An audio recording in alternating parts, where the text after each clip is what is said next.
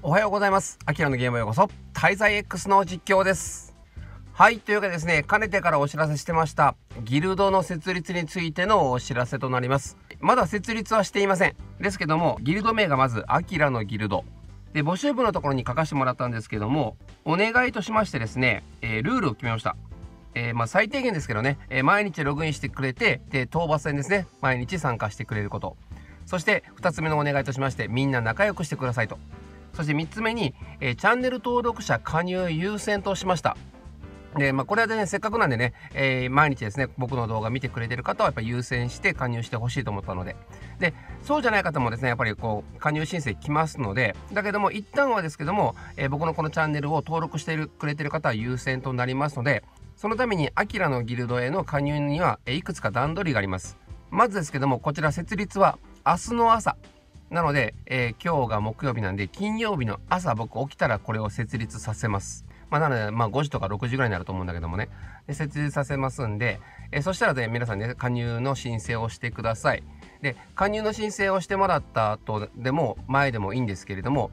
この動画、この動画のコメント欄に、滞在 X でのユーザーネームを書いて、加入申請します、加入申請しました、どちらでも結構ですんで、まあ今のうちですけれども、先にコメントしておいて、ギルド設立ができたら、え加入申請してくれるという形で結構です。ギルド設立しましたってなった場合、えこちら僕 YouTube の方の投稿フォームありますよね。動画じゃなく普通に投稿できますので、そちらの投稿の方にギルド設立しましたとお知らせを出しますので、ギルドの検索画面から、アキラのギルドを検索してくれて加入申請をしてください。その時に僕はコメント欄に書かれてるユーザーネームの方を優先して、えー申請の方を許可していきますので。